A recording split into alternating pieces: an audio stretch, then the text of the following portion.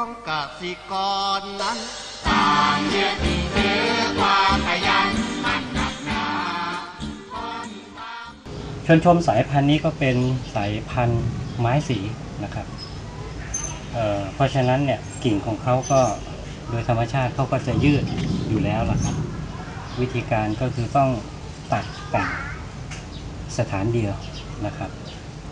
แต่ต้นนี้กิ่งที่แตกออกมารอบทิศเนี่ย ค่อนข้างที่จะให้ฟอร์มที่สวยอยู่แล้วนะครับ มองดูเป็นสามเหลี่ยมนะครับมีเพียงกิ่งเมนนะครับ ที่อาจจะยาวไปนะครับ เพราะฉะนั้นผมก็จะตัดใช้มีดคมๆนะครับ ตัดทีเดียวให้ขาดเลยนะครับ ตรงนี้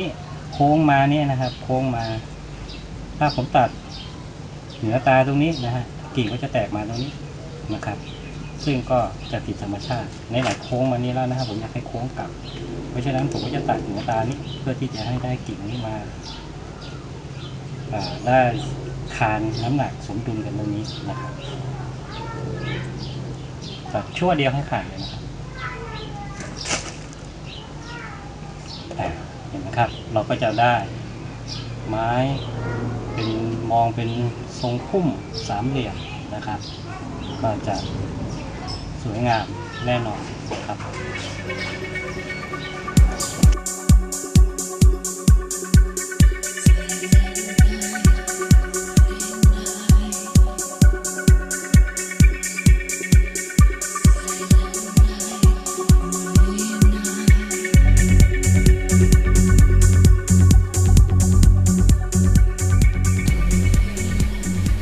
คุณผู้ชมครับหลังจากที่ผ่านไป 2สัปดาห์ การเปลี่ยนดินด้วยวิธีการที่ผมเรียนให้ท่านผู้ชมไปในเทปก่อนหน้านี้นะครับสองสัปดาห์ก็ปรากฏว่าใบ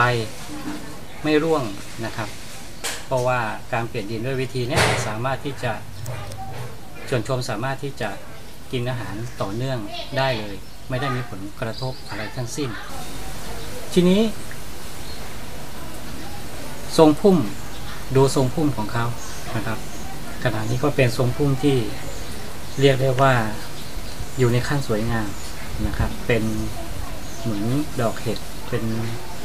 ทรงฟอร์มสามเหลี่ยม แล้วก่อนหน้านี้ที่ผมได้ตัดกิ่งเมนเขาเหนือยอดตาที่ผมต้องการให้กิ่งแตกมาในทิศทางนี้ ก็ปรากฏว่าตอนนี้สิ่งที่ผมต้องการมาแล้วครับ มามาในทิศทางที่กำหนดไว้ทุกอย่าง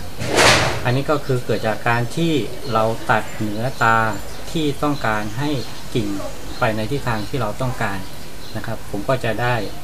กิ่งยอดเนี้ยกิ่งเมนเนี้ยมาเป็นยอดเนี้ยนะครับมาเป็นกิ่งเมนโค้งมาตรงเนี้ยมันก็จะได้ฟอร์มของมันสวยงามนะครับกิ่งอื่นๆ นะครับ แตกตามาแล้วนะครับ จากการที่เราตัดตาอื่นๆก็แทงกิ่งมาแล้วนะครับ ก็อีกไม่นานก็เต็มฟอร์ม